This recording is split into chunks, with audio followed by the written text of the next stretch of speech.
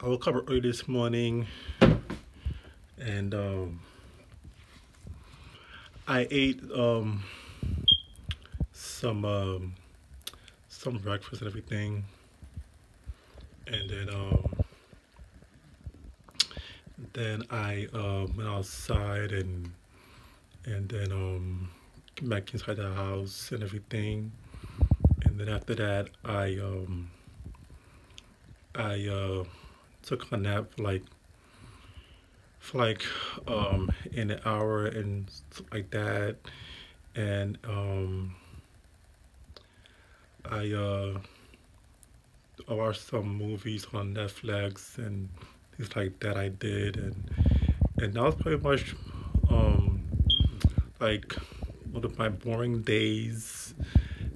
that I that I did you know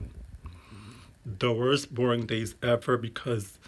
because like on Sundays there's like nothing to do on Sundays and and then um I'm pretty much like you know always like getting fed up and um and yeah I'm just like um always doing the unexpected and the expected and the unexpected things that I always do and stuff like that. And then um I was about to play um Black Ops and uh Call of Duty but I played that game already like so many times already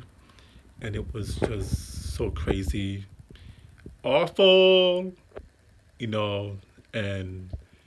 and it got me more boring playing games and playing video games all day and stuff like that. And I got more exhausted and more thoroughly